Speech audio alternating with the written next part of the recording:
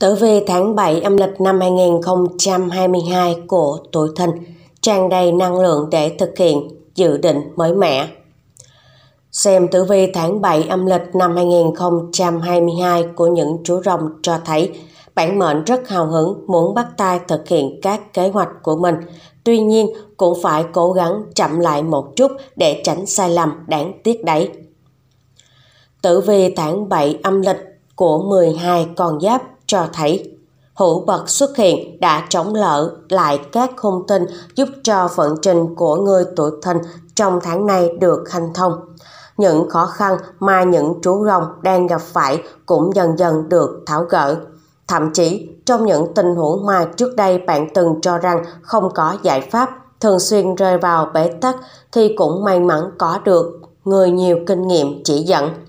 Những ý kiến của họ thật sự là chìa khóa cho mọi vấn đề mà bản mệnh gặp phải. Nguyệt lệnh, quàng đới, mang nhiều tin vui cùng với khí thế bừng bừng cho người tuổi thìn tiến tới các mục tiêu đang còn bỏ dở suốt thời gian qua.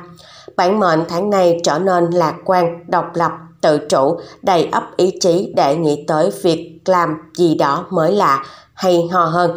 Thậm chí có người nung nấu ý chí khởi nghiệp, ở một số lĩnh vực mà bản thân chưa từng có kinh nghiệm. Để hạn chế việc mắc những sai lầm đáng tiếc thì bạn nên học hỏi thêm những kiến thức thực tế đã nhé. Điều đáng khen của người tuổi thìn lúc này đó là thái độ nền nã, vui vẻ, luôn sẵn sàng giúp đỡ cho những người có hoàn cảnh khó khăn hơn mình. Tam hợp cho thấy cuộc sống của những chủ rồng trong tháng 7 âm lịch này thiên về tình cảm và may mắn là bạn có được hạnh phúc như mong muốn. Những cuộc hẹn hò lãng mạn của các cặp đôi làm sống dậy cảm xúc của cả hai như thuở mới yêu. Xem tử vi tháng 7 âm lịch năm 2022 của tuổi thìn qua từng phương diện của cuộc sống.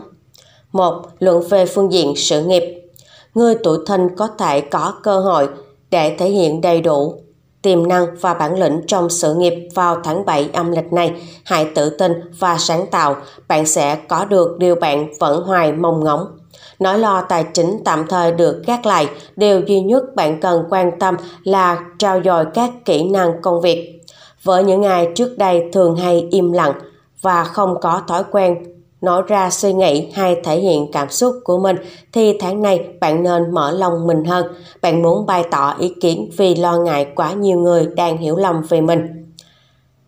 Nếu thấy có nhiều việc mình đã rất kỹ càng nhưng hiệu quả không được cao thì bạn không nên chủ quan như trước đây. Nếu cần, hãy xem lại từng bước để ra soát xem mình đã sai sót ở điểm nào. Tháng 7 âm lịch này ảnh hưởng của tỷ kiên nên không loại trừ trường hợp có kẻ xấu đang chơi hại bạn mà bạn không hề hay biết. Có những người họ chỉ cần lợi dụng sơ hở của bạn để trục lợi mà thôi. Do đó người tuổi thìn đừng quá dễ tin người, trở thật thà quá mà vội vàng tin bất cứ ai. Với khí thế hừng hực còn giúp người tuổi thìn không chỉ hoàn thành tốt nhiệm vụ của mình mà còn rất vui vẻ đi giúp đỡ mọi người. Tuy nhiên, bạn nên chỉ giúp những ai muốn nhờ tới bạn mà thôi, nếu không đó là sự làm phiền để nhé. Hãy tinh ý hơn trong việc quan sát thái độ của người khác. 2. Luận về phương diện tài chính Dự báo một tháng mới nhiều may mắn trong cuộc sống khi đi đâu cũng có người hỗ trợ giúp đỡ. Về tiền bạc, những ai đang tìm kiếm lời khuyên từ tiền bối hoặc đồng nghiệp lão lan là sự lựa chọn thật sự không ngoan. Tháng 7 có thể nói mặt tài chính của con giáp này sẽ có bước tiến rõ rệt, nhất là đối với những ai có ý thức cao trong việc tìm kiếm thêm các nguồn thu nhập mới suốt nửa năm qua. Ngũ quỷ hung tinh mang tới đêm xui xẻo, có đêm tiểu nhân quấy phá ảnh hưởng tới tài lộc của người tuổi thìn. Điều này cảnh báo việc bạn kiếm được kha khá nhưng cũng mất không ít. Bạn có biết việc giữ tiền nhiều lúc còn quan trọng hơn cả việc kiếm tiền hay không? Nếu bạn cứ mãi giữ thói quen xấu trong việc tiêu dùng thì tương lai bạn cũng sẽ không hề bền vững chút nào. Tháng cô hồn có thể người tuổi thân vô tình để mất tiền và không rõ lý do, lúc này bạn thường có tâm lý một mất, mười ngờ. Nếu không, cũng là vì quả tình người mà bạn dễ dàng nghe theo những lời mời chào hấp dẫn từ người quen về một khoản đầu tư xin lời nào đó. 3. Luận về phương diện tình cảm Tháng 7 âm lịch này đối với người tuổi thìn nhờ có tam hợp ghé thăm cho thấy khía cạnh tình duyên của con giáp này rất đáng mong chờ. Phải chăng đã đến lúc bạn thôi giấu kính và bắt đầu gửi các tín hiệu thăm dò đến người ấy? Ngũ hành tương sinh giúp cho người tuổi thìn có vận trình tình cảm và một nửa của mình được cải thiện rõ rệt. Cho dù bản thân không quá kỳ vọng, nhưng bạn lại có được những thứ mà nhiều người khác mơ ước. Điều quan trọng là bạn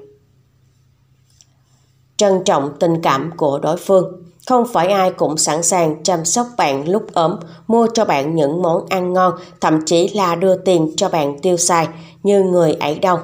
Sự kết nối của bạn với người thân trong nhà được cải thiện. Có cơ hội để trò chuyện với một người từng xảy ra hiểu lầm trong quá khứ và cả hai được hóa giải những khúc mắc.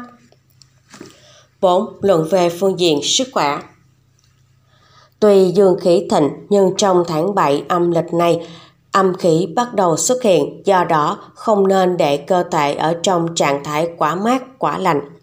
Luôn để ý tới cách ăn mặc kín đáo, vừa đảm bảo chất liệu mát, để dễ thấm hút mồ hôi. Tử vi tháng 7 âm lịch của người tuổi thìn có nhị hắc nhập cung chính bắc, cảnh báo tình trạng sức khỏe đáng báo động đối với những ngày có bệnh nền. Bạn nên chú ý về vấn đề ăn uống, nghỉ ngơi, đừng để tái phát bệnh dạ dày hay bệnh liên quan tới đường ruột, tiêu hóa. Để duy trì sức khỏe của bạn có thể luyện tập những bài thể dục nhẹ nhàng hoặc nếu cần có thêm động lực hay rủ cả thêm người thân trong nhà nữa nhé. Chỉ cần đi bộ nhiều hơn, leo cầu thang nhiều hơn trong vòng một tháng, bạn cũng thấy thể lực của mình cải thiện đáng kể.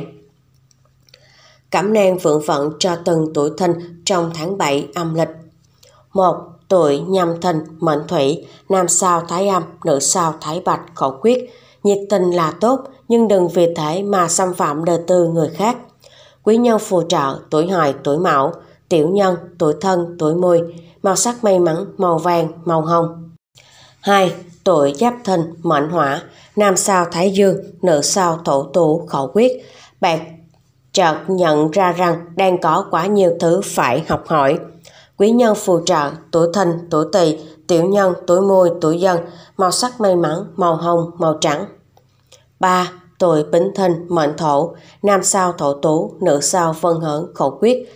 Bạn dễ phạm sai lầm cơ bản trong quản lý tiền bạc. Quý nhân phù trợ tuổi giàu tuổi tý, tiểu nhân, tuổi hợi, tuổi dân, màu sắc may mắn, màu trắng, màu cam. 4. Tuổi mậu thìn, mệnh mộc, nam sao thái âm, nữ sao thái bạch, khẩu quyết. Hãy thực tế hơn trong việc kế hoạch hành động của mình. Quý nhân phù trợ tuổi tỵ, tuổi mão, tiểu nhân, tuổi thân, tuổi ngọ, màu sắc may mắn, màu đen, màu hồng. 5. Tuổi canh thìn, mệnh kim, nam sao thái dương, nữ sao thổ tú, khẩu quyết. Đừng nên nóng nảy, cãi vã tay đôi với người kia của mình. Quý nhân phù trợ tuổi dậu, tuổi mão, tiểu nhân, tuổi hợi, tuổi mùi, màu sắc may mắn, màu trắng, màu tím,